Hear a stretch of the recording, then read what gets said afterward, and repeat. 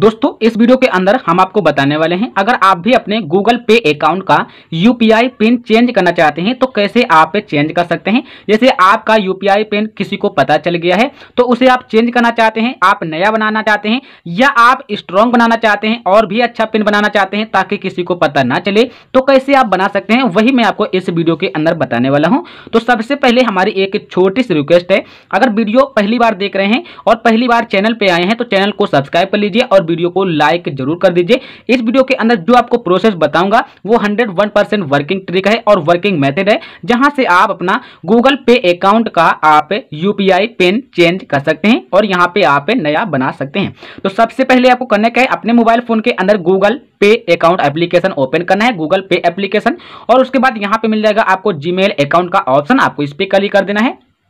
जैसे आप इस पर क्लिक करेंगे, यहाँ पे देखने को मिलेगा बैंक अकाउंट का ऑप्शन, आपको इस पर क्लिक करना है।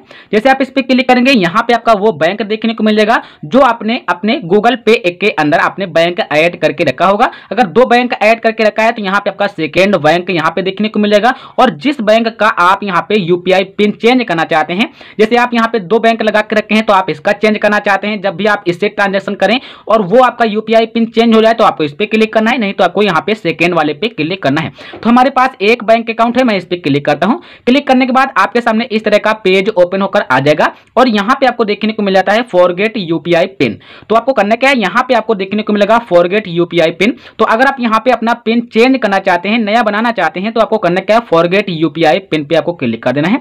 जैसे आप इस पर क्लिक करेंगे, यहाँ से आपके एटीएम कार्ड के आखिरी के छह अंक पूछे जाएँगे और यहाँ पे आपका महीना पूछा जाएगा और यहाँ से आपका ईयर पूछा जाएगा। तो यहाँ पे मैं सारा का सारा डिटेल्स फिलअप कर लेते हैं, फिर आपको बताते हैं कि आगे कैसे आप अपना यूपीआई पिन चेंज कर सकते हैं। यहाँ पे मैंने अपने एटीएम का सारा डिटेल्स फिलअप कर लिया है और उसके बाद यहाँ से आपको देखने को मिलेगा इस तरह का एरो का आइकन आपको इस पर क्लिक करना है।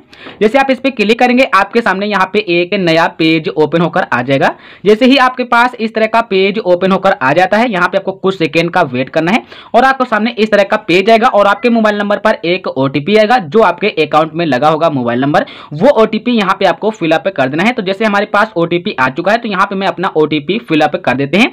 तो हमारे पास जो ओटीपी आया है, वो यहाँ पे आया है ज़ीरो तीन निन्यानवे और सत्रह। तो मैंने यहाँ पे अपना ओटीपी फिलअप कर दिया, उसके बाद यहाँ से सही वाले टिक पे ऑप्शन पे क्लिक करना है, और यहाँ पे मिल जाएगा set six digit UPI pin तो यहाँ पे आप अपना न्यू न्यू यूपीआई पिन बना सकते हैं, जो आप बनाना चाहते हैं। तो जैसे हम यहाँ पे बनाना चाहते हैं नया यूपीआई पिन तो यहाँ से मैं अपना यूपीआई पिन बना लेते हैं। उसके बाद यहाँ से आपको सही वाले टिक पे ऑप्शन पे क्लिक करना है।